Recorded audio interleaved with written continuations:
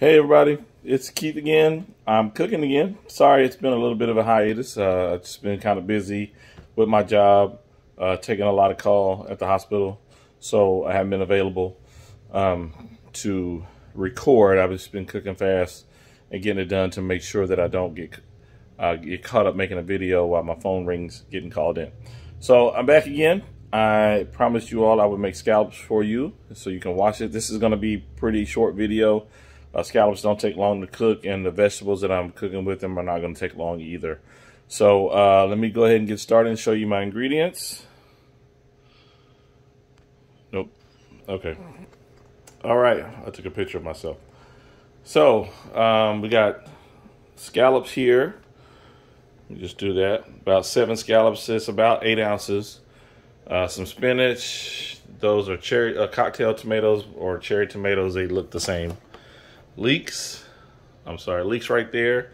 And then we got salt, pepper, uh, minced garlic, and I'm gonna put a little bit of cocktail sauce on top of the scallops. So let me uh, get myself together and get going cooking.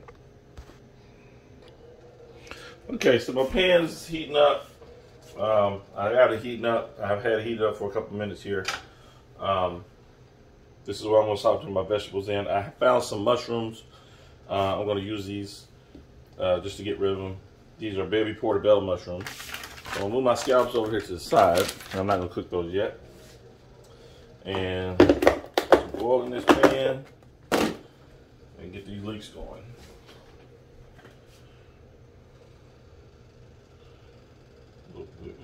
oil. The olive oil adds to the flavor. This is I only use extra virgin olive oil. This will burn if you get it too hot, so just be careful about that. And I'm gonna start heating up my scallop pan because I don't want it to be hot just yet. I'm gonna start cooking these vegetables first. We're gonna oil around in there so it coats the bottom of the pan really good. I'll throw these leeks in here. So leeks are from the onion family. If you didn't know, they look like giant green onions. Uh, most of the leek you don't eat. That big fibrous green part, you don't eat that. I don't know anybody who does eat that, but I wouldn't recommend that you eat it. Um, would, it would take a long time to chew it.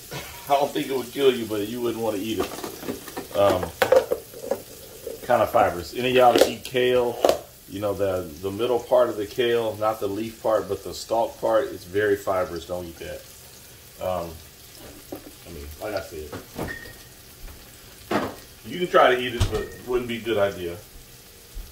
So got those leeks going. Again, I did start the, the heat on my pan over there. I'm gonna cut these tomatoes up like this in quarters. These are big. If they were the small grape tomatoes, I'd just cut them in half. But these are really big um, for what I'm doing. Uh, if they're really, really small, like grape tomatoes, I think I just said that. I would sometimes leave them whole. But um, if you do leave grape tomatoes whole, when you bite into them, they kind of burst in your mouth. And if they're really hot, you wouldn't really like that. But I cut these in half because I'm not. They're not going to go. They're going to go in at the dead last. Okay. So these are baby portobello mushrooms. So they're meatier and thicker, so they take a little bit longer to cook. So I'm gonna go ahead and cut these into kind of thick slices, and and then this one I'm just gonna cut in quarters. Or yeah, I'm cutting quarters. Throw those in there. Get those going because they take a little bit longer to cook. Yeah. Toss that a little bit. My Pan. Get my garlic.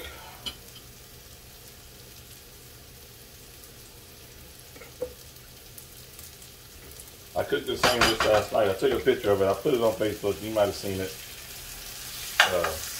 Put sausage in it actually last night. I'm not putting sausage in today. I can only have so much meat per meal, so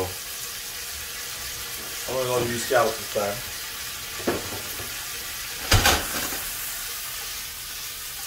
That garlic smell is awesome. Oh, I am to put some balsamic vinegar in here too. I forgot about that but not till after I put my spinach in. It's balsamic vinegar.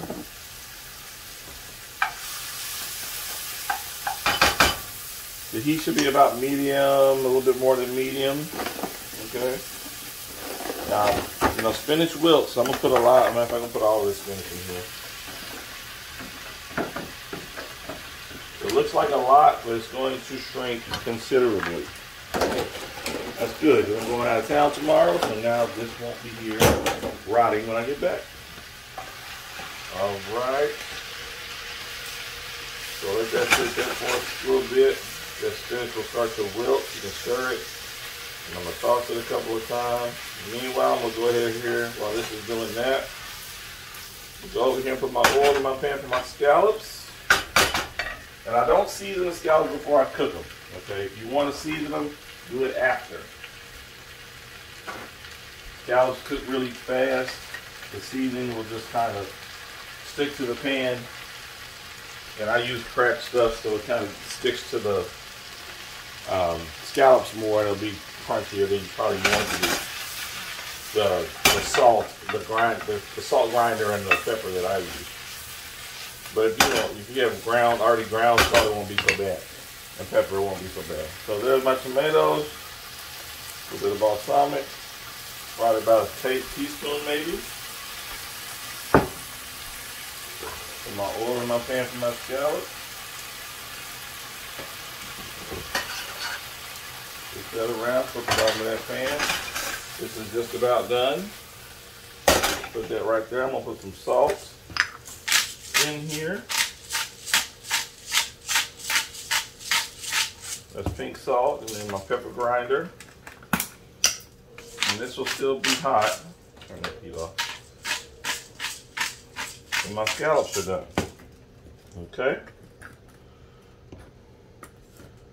So I think my scallop pan is ready. Got my scallops here.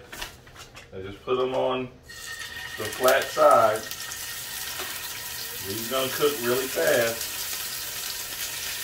Probably about a minute and a half on each side. You just want to get a nice little brown on them.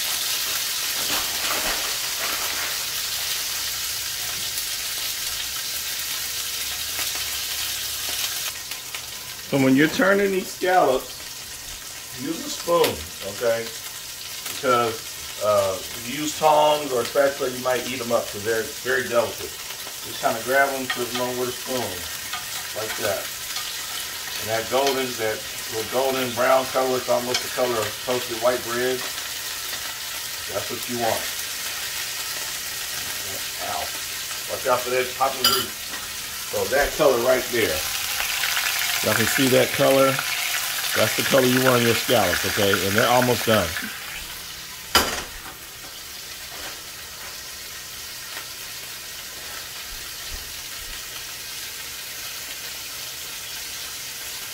So I've turned the heat off on my scallops. Get a plate.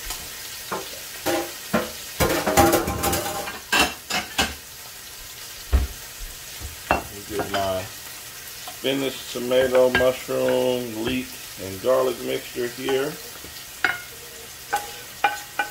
Kind of like a warm spinach salad, sauteed spinach with tomatoes, garlic, leeks, salt and pepper, and some baby portobello mushrooms. You don't have to put the mushrooms in there. I love mushrooms. I know some of my people, like my friend Joseph, does not like mushrooms, but I do. So these scallops are ready to go. Get them out there heat, and I'm gonna take them out with the spoons. If you put them on a plate like they do on Hell's Kitchen and some other places, you can just uh, uh, by themselves, and then they garnish them after. You can do it that way and just take the pan and just plop them on a plate like that. But I'm not doing it that way because I don't want these scallops to mess up my crowning achievement there in the middle with these vegetables. And just plate them like that. You don't have to do them in a circle like that. I just do it for presentation. I like the way it looks. Okay. Oh, y'all couldn't even see that. So I plated those scallops like that. Um, put the the spinach mixture in the middle and put the scallops around. You don't have to put them in a circle like that if you don't want to. Um, you could just I just do it for presentation purposes. So that's it. Pan-seared scallops with a vegetable medley of sauteed spinach, tomatoes, portobello mushrooms, leeks with some minced garlic, seasoned with salt and pepper. Hope you enjoy. Please write, excuse me, please rate, subscribe, and share this with your friends on my YouTube channel. Thank you so much for watching. Happy eating and cooking.